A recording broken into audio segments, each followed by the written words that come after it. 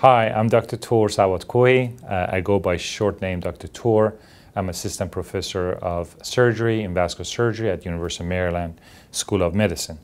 Um, I'm board certified vascular surgeon and I'm also board certified general surgeon. My main interest is aortic pathology and that includes blockages in your aortic pipe or it can be aneurysm. Aneurysm by definition is enlargement of a portion of the aorta that ultimately this is going to be putting the patient at risk of rupture.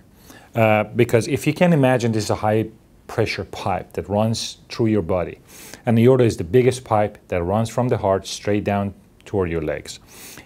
This location of the aorta, that's some, somewhere around me, the stomach area, is very uh, prone to aneurysmal degeneration or enlargement of the artery.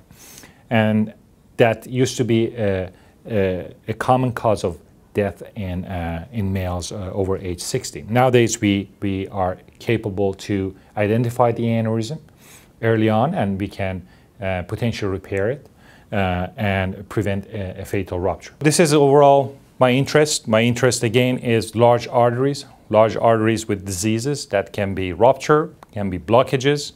I can treat variety of these pathologies just without doing a, a large surgery without performing a large incision. Most of my surgeries are done minimally invasive, and most of my patients are recovering very fast. And if you are watching this video, either you're having this aneurysmal disease or any aortic pathology, either yourself, a family member, or friend, please contact me. Uh, I'm happy to go over different treatment plans for this uh, difficult issue, and hopefully we can offer a minimally invasive way of treating this issue and getting it out of your way.